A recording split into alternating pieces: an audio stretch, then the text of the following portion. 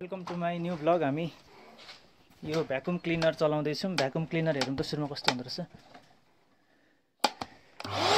है। एकछिन पख्नु पख्नु यसो गर्दाखेरि यहाँबाट खोलेर कताबाट खोल्ने? ए यहाँभित्र चाहिँ फोहोर बस्ने हो क्या र? है। अब यहाँ यो स्विच थिच्दाखेरि चाहिँ हुँ हुँ गर्दो रहेछ। यो स्विच थिच्दा हुँ